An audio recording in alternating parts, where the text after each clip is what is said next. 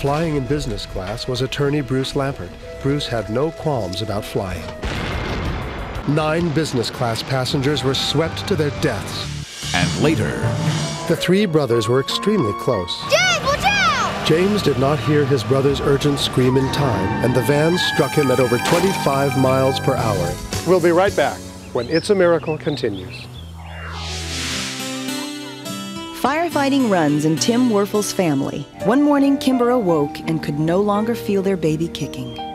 and later, the story of a child born with severely deformed club feet. I'm Richard Thomas. Good night.